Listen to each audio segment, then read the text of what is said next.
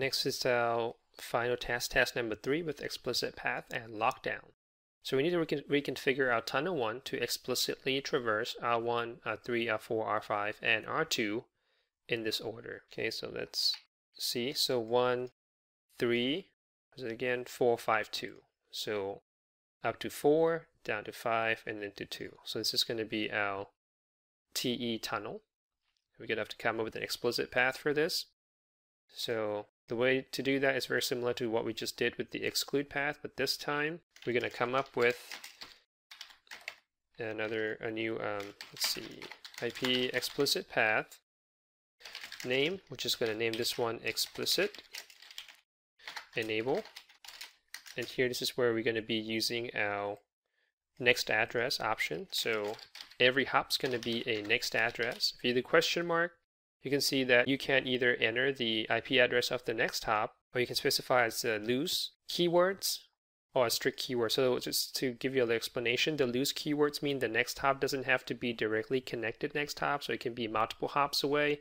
What's happening and which path the router is going to pick for the intermediate routers or hops is totally up to the router. So basically it's a combination of doing explicit and dynamic if you just want to only fix part of the path and then the other part can be completely dynamic, then you can use the loose keywords.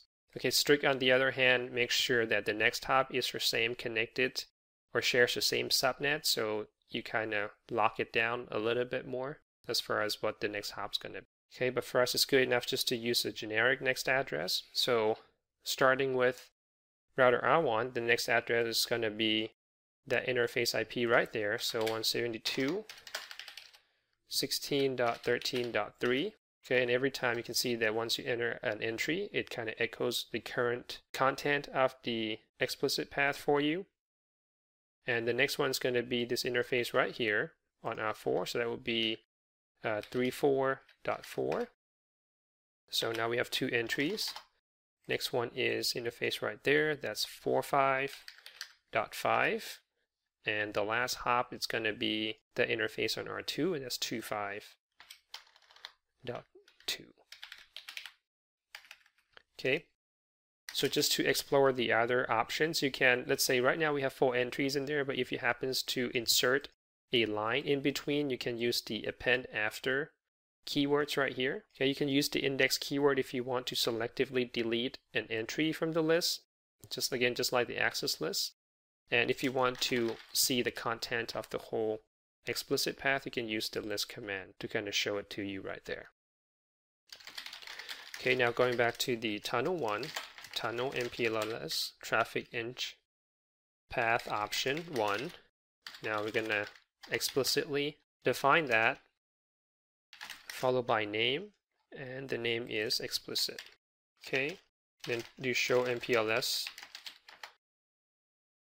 traffic engineering tunnel. You can see it's saying right now the state is RSVP signaling proceeding. So it's going through the path reservation process right now as well as the MPLS label distribution. So you have to give it a couple seconds.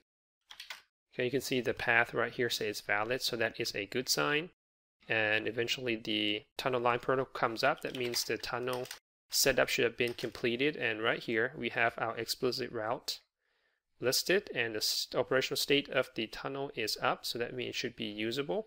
If you're trying to confirm that from R6 to another trace routes, we should now be going through our 1, 3, 4, 5, 2, 7, just like how we have it listed in our explicit path configuration.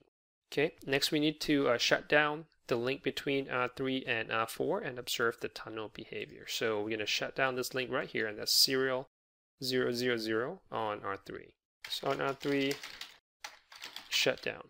Okay, give it a couple second for the R1 to realize that the link between R3 and R4 is no longer available. Right there, line protocol went down, and now if you check the status of the tunnel, you can see the state is now down, and the path is marked as not valid. And if you kind of scroll all the way down to the bottom here with the last error of the path calculation, it said explicit path has unknown address.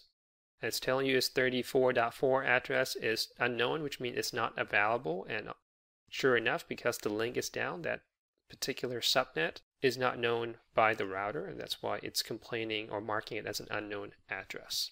Okay, so using the explicit path option, you're basically telling the uh, the tunnel to be very specific as far as the path that it can use, and if one of the link in the path is not available, it will certainly take the path down until the links become available one more time, right? So next we need to reconfigure tunnel 1 to have a dynamic path to back up the explicit path that's already configured. We need to make sure that once the backup path is utilized, it will never falls back to the original path until the tunnel is shut down. Okay, so that right there is telling you that we do not want any kind of uh, re-optimization to happen once the failover has occurred to the backup path. And the way to do that is with the lockdown command. So going back to the R1 tunnel 1, we can configure a backup path by using a preference number. So, so far we only have one path option, which is the preference 1 we can make a backup alternative uh, path with the number 2. Right, it can be any number that's larger than 1, obviously. And we say we're going to make it dynamic, and we also want to lock it down so that this particular tunnel or path is not a candidate for re-optimization. Okay, so do a lockdown, and as soon as we do that, you can see that the tunnel comes back up, and if you show MPLS traffic engineering tunnel, you can see that now the tunnel is currently using path option number two. And in parentheses, it said this path is locked down and it's type dynamic.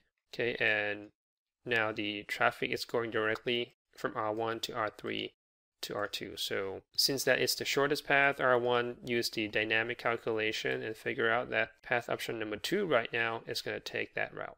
Okay, so now just to test the re-optimization piece of it, we're going to bring this interface right here back up. So on R3, we're going to do no shut.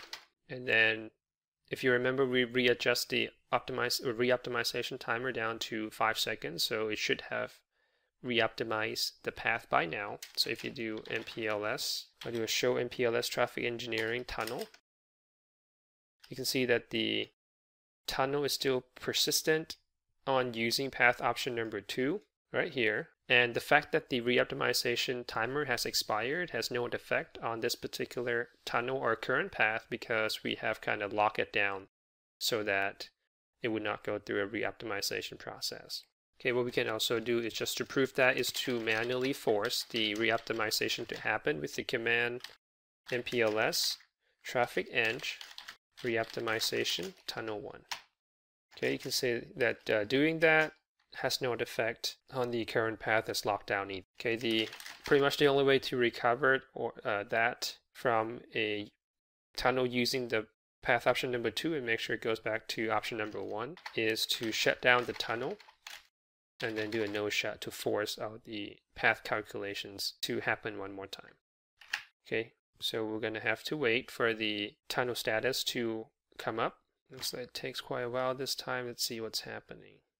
Okay, all right, looks like it came up already right there. So we're back on path option one again with type explicit, name explicit. And here we are back on the original path with router 3452. Okay, so that's how you could create a backup path option as well as how to lock down your path so it does not go through the re-optimization process. And that's complete our task number three. Okay, so you can see that the explicit path option is not much to it. It's pretty straightforward to configure. The path is pretty much fixed and either upped if all the links are upped and the, some of the conditions are met or the links will be down if those conditions are not met.